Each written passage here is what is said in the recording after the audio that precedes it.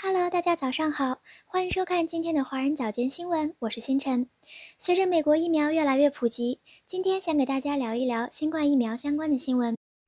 辉瑞请求准许用于十二至十五岁，数据称莫德纳更可能有副作用。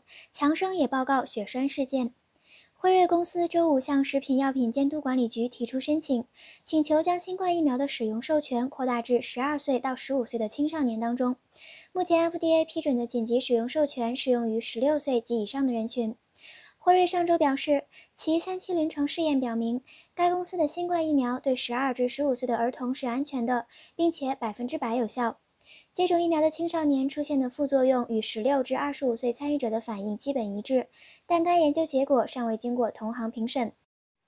当时，辉瑞就表示将尽快申请扩大紧急使用授权。辉瑞首席执行官阿尔伯特·布尔拉表示，他希望在下一学年开始之前为十二至十五岁的孩子接种疫苗。波尔拉在发布研究结果的声明中说道。截至目前，已经有三分之一的美国人至少接种了一剂新冠疫苗。专家表示，想要实现群体免疫，为儿童和青少年接种疫苗是至关重要的。辉瑞目前还在研究该疫苗在六个月至十一岁的儿童中的效果如何。该试验已于三月为志愿者接种了第一剂疫苗。上个月。莫德纳宣布在美国和加拿大对六个月至十二岁的儿童进行疫苗试验，此举正值某些青少年中的感染激增。根据密歇根州卫生部门的数据，该州十至十九岁群体的感染率创历史新高。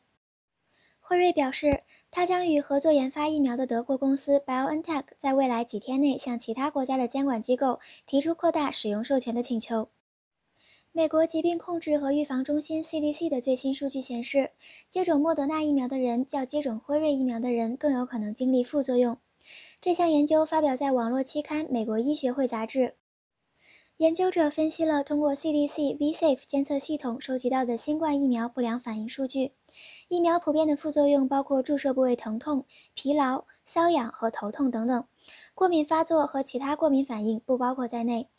从2020年12月14日至2021年2月28日收集到的数据来看，莫德纳疫苗的副作用发生率较高，大约74%的 VSafe 受访者在接种一剂莫德纳疫苗后报告了副作用。与之相较，65.4%的受访者在接种一剂辉瑞疫苗后报告了副作用。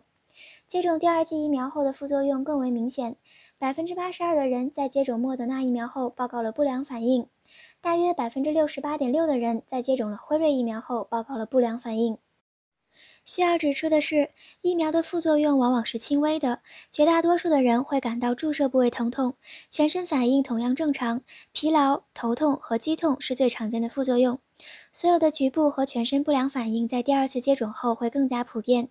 接种者还报告了更多诸如发烧、关节痛和身体发冷等症状。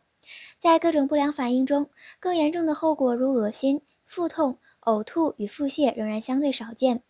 CDC 的研究人员强调，这项研究中的 VSafe 受访者只占所有接种者的不到百分之十。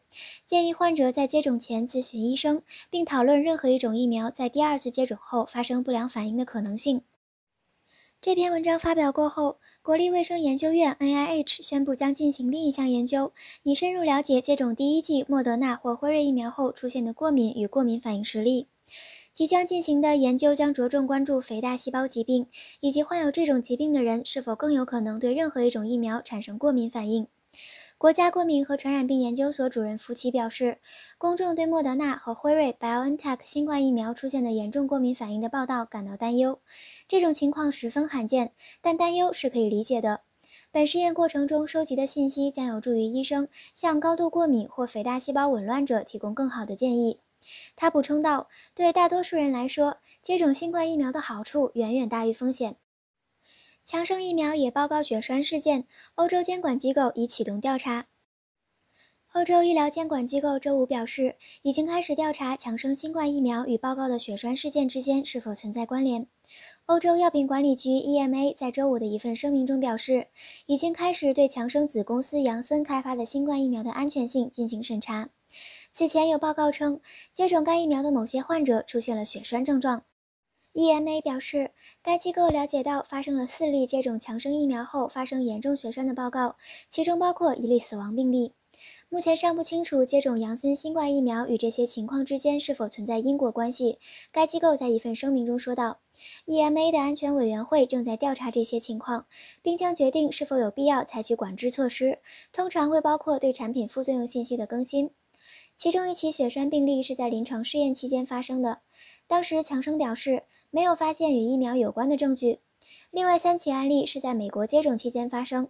目前，美国已有近五百万人接种了强生疫苗。强生一位发言人说，该公司已经了解到接种疫苗后发生的极少数事件，并且正在继续与监管机构在安全问题上密切合作。